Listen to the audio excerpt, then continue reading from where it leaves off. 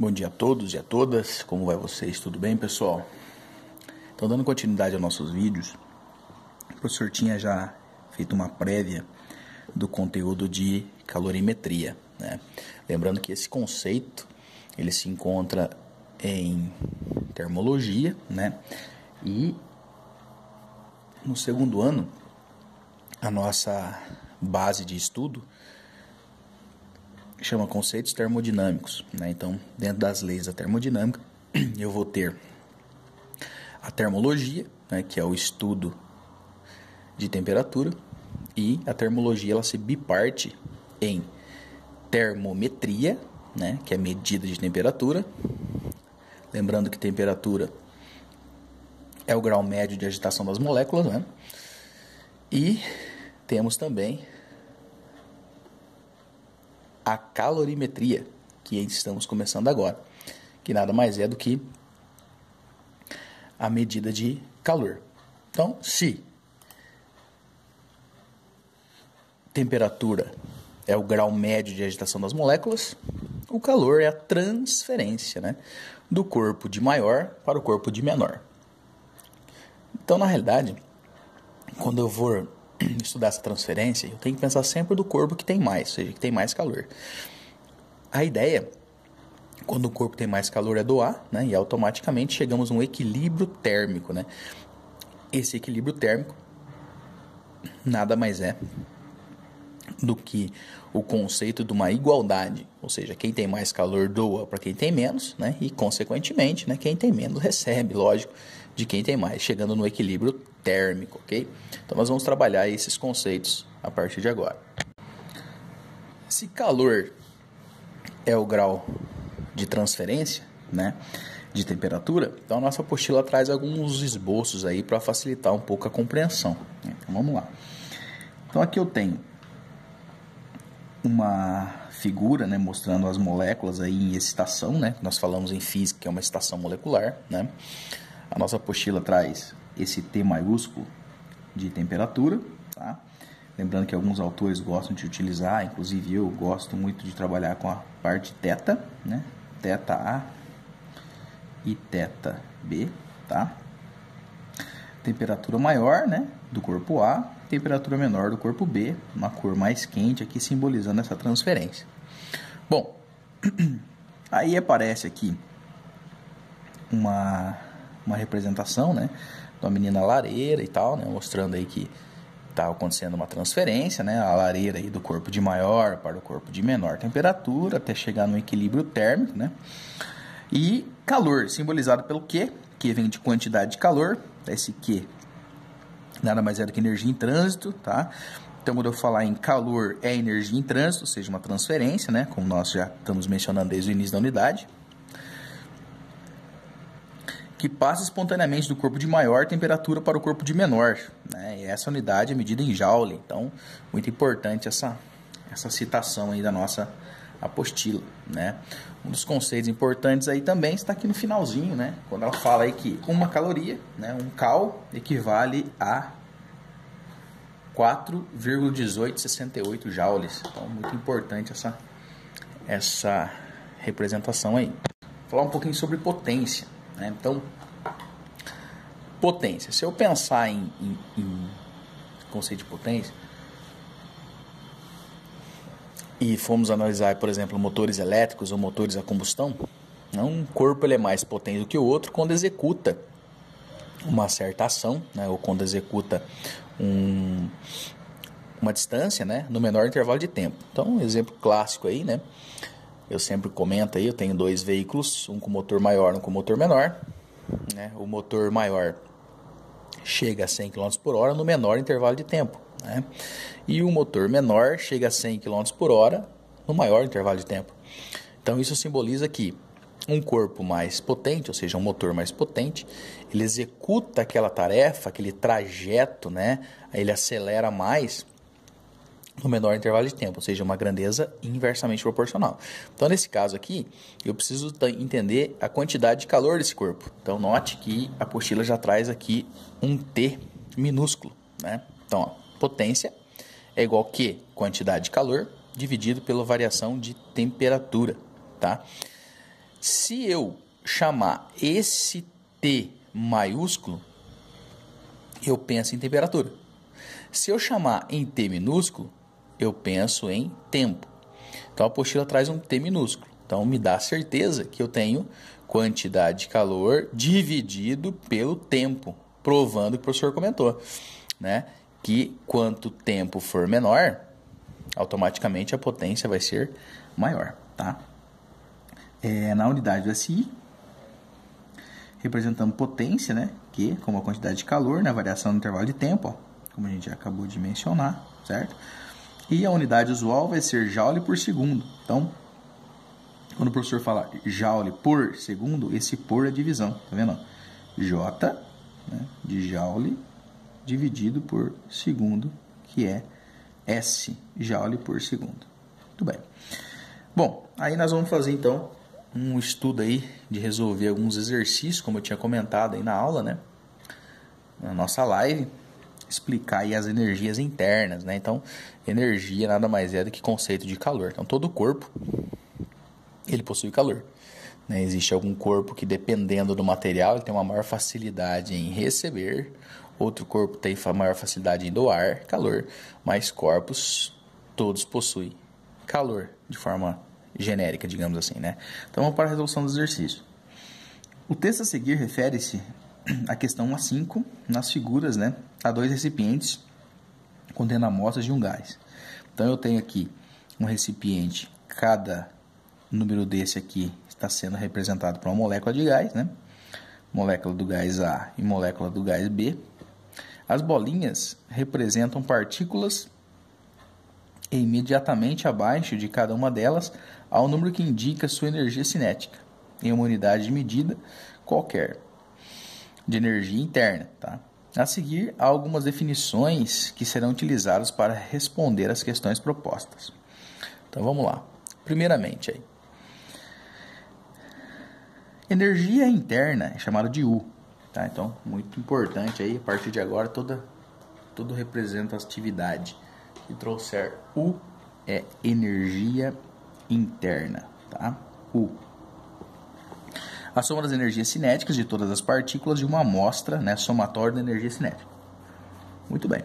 2. Energia cinética média. Então, seria aí a média é a razão entre a energia interna né, e o número n de partículas que compõem esse gás. Primeiro, analise as amostras A e B. Calcule a energia interna inicial da amostra A e da amostra B. Então vamos entender esse somatório aí, o que, que ele fez. Fisicamente falando, eu tenho U. Né? Apareceu U interno de A. U é energia interna. Então, energia interna do corpo A é igual somatório. Né? Esse símbolo matemático aqui significa somatório. Somatório de quem? Da energia cinética. O que é energia cinética? Cinético. Tudo que for cinético lembra movimento. Se é movimento, energia em trânsito. Tá? E depois da amostra, mesmo esquema. Energia interna do corpo B. Energia interna do corpo B inicial, né? Vai ser o somatório da energia do cinética do corpo, claro, corpo B. Muito bem. Então, o que, que a apostila faz? É bem simples, ó. Você vai somar todos os valores, né, que eu tenho aqui. Então, ó, 2, 3, mais 1, mais 1, 2, 1, certo? 3, 2, 3, 2. Soma tudo e eu vou ter o total, que seria 20, né, o somatório aí. E do corpo B, 8 mais 8, 16. Por que, que tem U aqui, ó, 20U e 16U? Porque energia interna você não considera de forma genérica um, um resultado final, ou seja, é, não é caloria, não é joule, você chama de U. U que significa unidade de medida. Muito bem. Qual é o número de partículas da amostra A?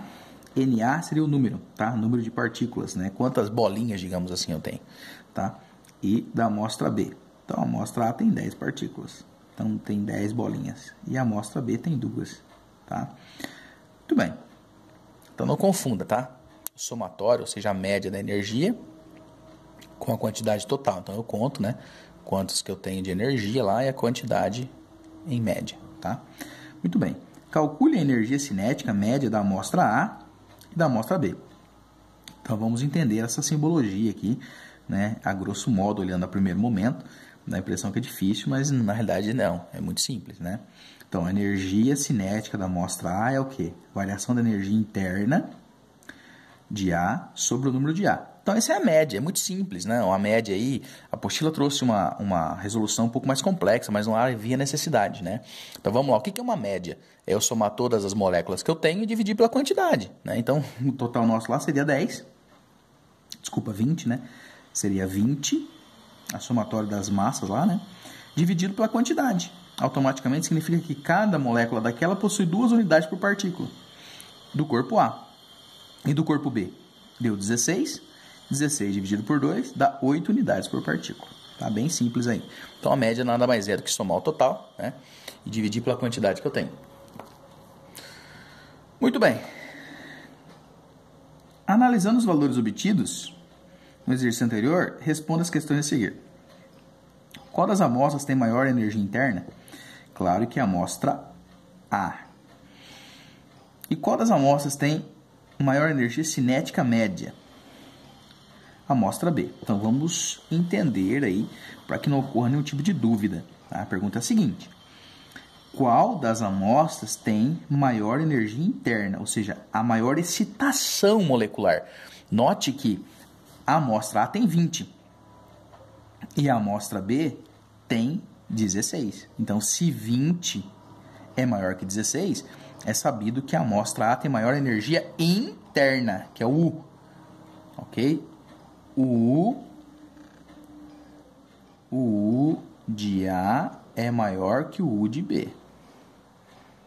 Beleza. Qual das amostras tem maior energia cinética média?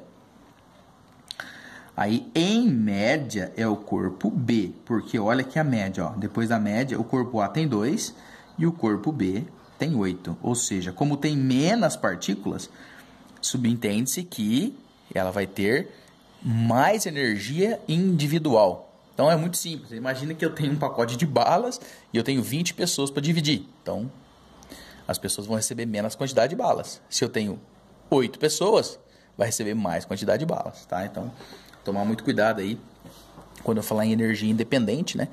E, e no geral, tá? Lembrando que a temperatura é proporcional à energia cinética média. Qual das amostras tem maior temperatura? A amostra B, pois ela tem maior energia cinética média. Então, de novo, ó, cuidado. Lembrando que a temperatura ela é proporcional à energia cinética média. Média. Então, a nossa média mostrou que o corpo B tem um número maior. Então, se o dado do problema disse que a energia cinética média é que define a maior temperatura, se o corpo B de maneira individual foi maior, a resposta é B. O corpo que tem maior temperatura é o que tem a maior energia interna ou é o que tem a maior energia cinética média? É o que tem a maior energia cinética média cinética média. Então é lógico, pessoal. Repare, se o corpo tem 8, se cada partícula tem 8 e cada partícula tem 2, a partícula que tem 8 individual é que está mais quente. Né? Uma coisa lógica aí, tá? Mas muito cuidado para que não caia aí num erro, né, por falta de atenção, tá bom? Depois, por gentileza, refazer esse exercício aí como fixação, tá? Na natureza, Quando corpos que estão a temperaturas diferentes entram em contato, os mais quentes esfriam e os mais frios esquentam, ou seja, quem tem mais doa, quem tem menos recebe. Atingindo então a mesma temperatura, conhecida como equilíbrio térmico. Quando as temperaturas se igualam, dizemos que os corpos entram no equilíbrio térmico, comprovando o professor está dizendo.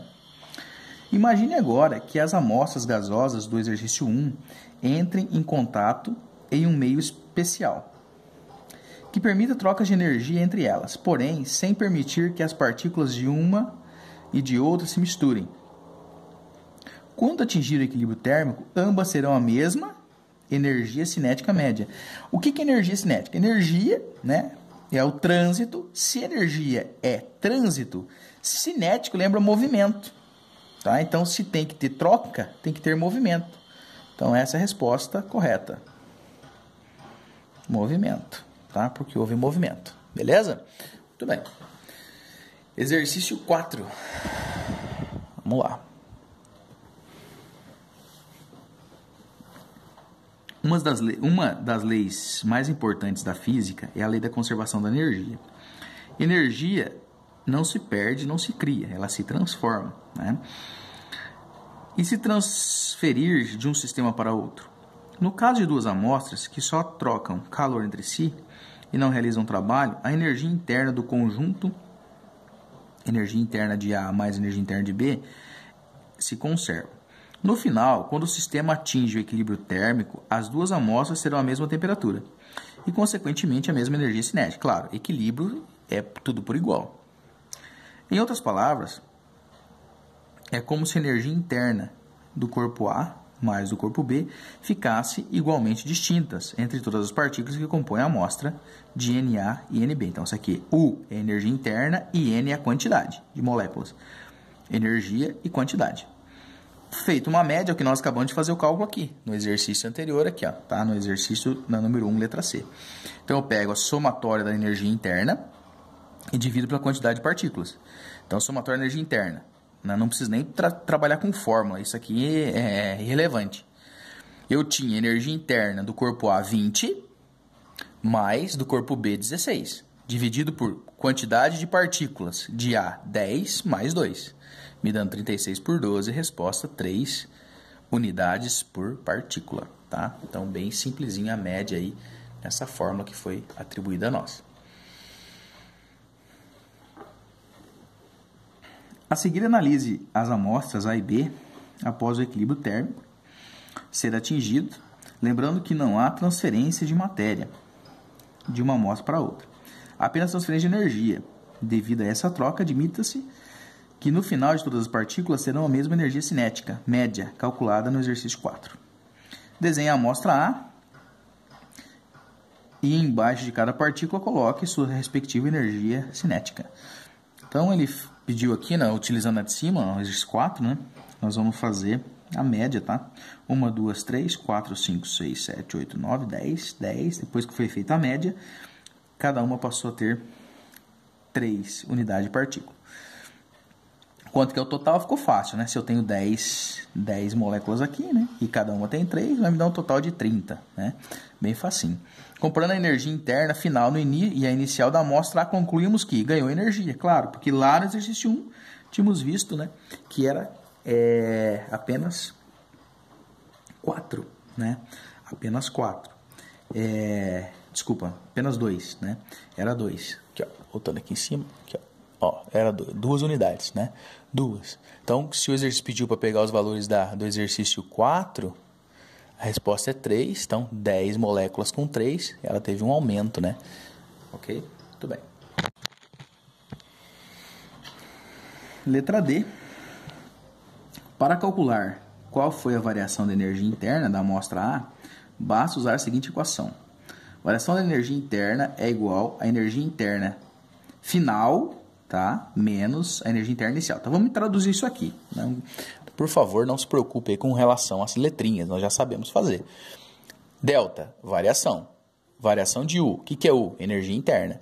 Variação da energia interna é energia interna final menos energia interna inicial. De que corpo? Do corpo A. Então, com base nisso, a gente vem aqui, ó. Fizemos as continhas, vimos que no final deu 30 menos a inicial, que é 20, resposta é 10 unidades. É bem simples mesmo, tá? O sinal variação da energia interna de A é positivo mais ou negativo menos. O que ele significa no ponto de vista físico? O sinal da variação da energia interna de A é positivo, indicando que a amostra ganhou energia. Claro, o simbolismo mais é de ganha e menos é de perca.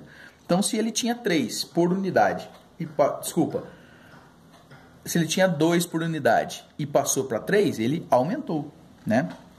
Então, provando aí que nós tínhamos, em média, ó, seria 30 dividido por 10 é o 3 e 20 por 10 é o 2, né? Então, ele houve um aumento de 1, né? Os 3 de 3 menos 2 dá 1, né? Desenha a amostra B, embaixo de cada partícula, usando sua respectiva energia interna, agora com 3, né? 3 e 3, total 6, né? Calcule a energia interna no final da amostra, 3 mais 3, 6, tá? A gente acabou de fazer aqui. Então a letra H mostra que houve o quê? Uma perca, né? Ele tinha 8, caiu para 6, dando uma perca aí. Consequentemente, nós vamos ter aí o cálculo em média do corpo B.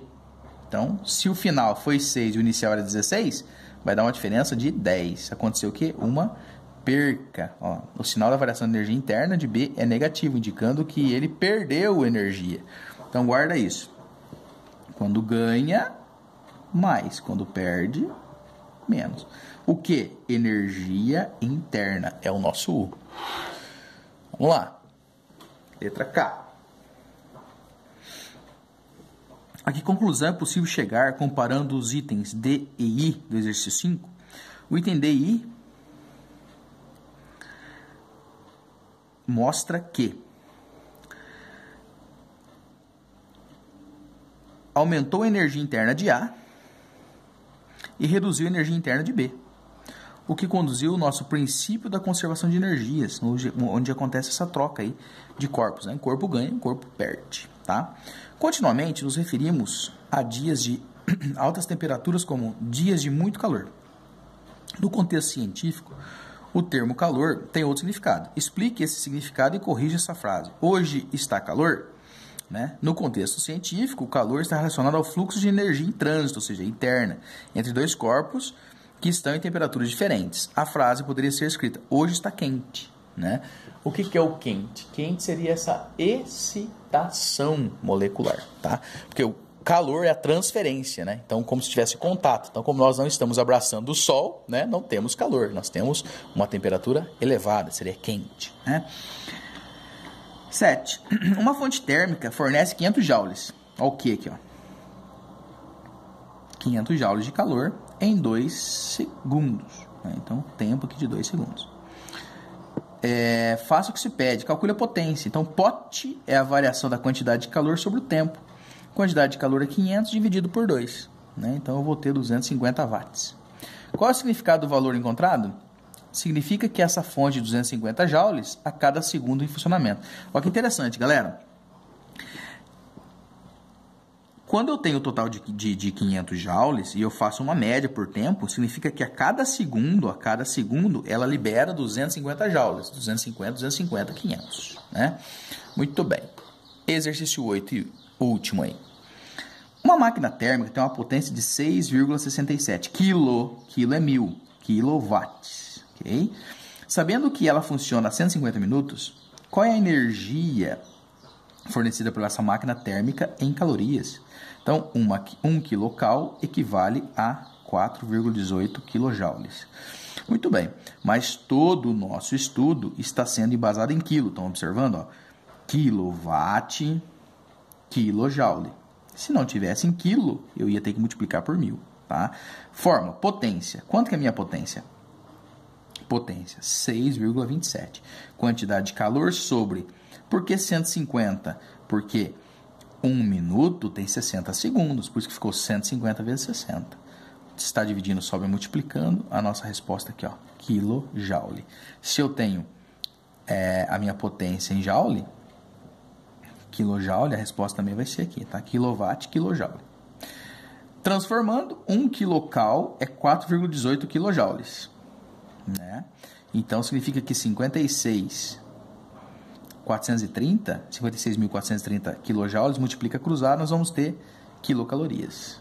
Beleza? Então, fazendo essas continhas aí, chegamos ao resultado final. Tá bom? Então, o professor vai pedir para vocês aí é, refazer esses exercícios, né? Utilizando a minha explicação da minha videoaula, vai pausando, vai completando a apostila e vamos passar mais algumas atividades aí do nosso caderno de atividades para vocês, como fixação. Beleza, pessoal? Então, qualquer dúvida aí, manda o professor, poste aí que a gente vai resolvendo, tá bom? Forte abraço aí, Deus abençoe e até a próxima aula. Tchau, tchau.